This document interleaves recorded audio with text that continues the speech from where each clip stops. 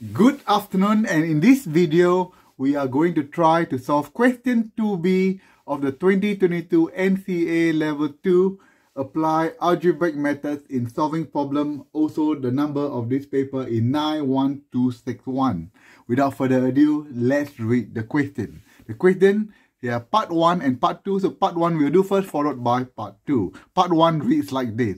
What is the discriminant of the equation 2x squared minus 12x plus 7 equal to 0.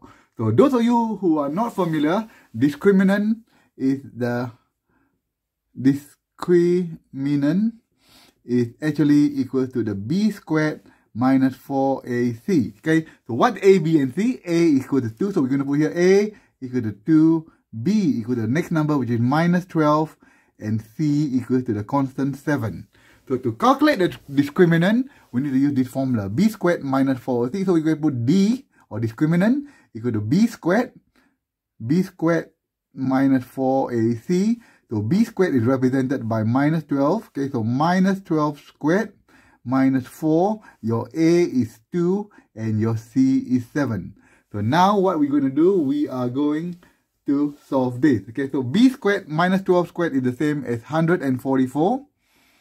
So next we get 4 times 2 times 7 or 8 times 7 is 56 and you put in a calculator 144 minus 56 and that will give you a total of 88.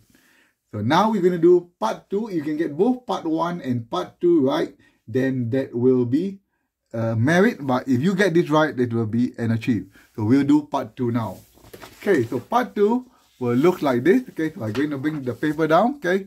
So pick part 2, we shall read the question. K, the question sounds like this. Suppose 2x squared minus 12x plus k, where k is a constant, for what value of k will the equation y equals 0 have exactly one solution? So when you have one solution, you need to know this, the discriminant equals to 0. Okay? So in other words, b squared minus 4ac must be equal to 0. So to get the answer for k, we need to substitute. So your a, your first value is 2, your a is 2, your b is negative 12, and your constant is represented by k. Okay? So now we're going to substitute a, b, and c into this discriminant equation. So b squared is now minus 12 again, squared, minus 4, a is represented by 2, and c is going to be k. That must be equal to 0. Now we are going to solve this. So minus 12 squared is going to be 144 minus 8k equal to 0.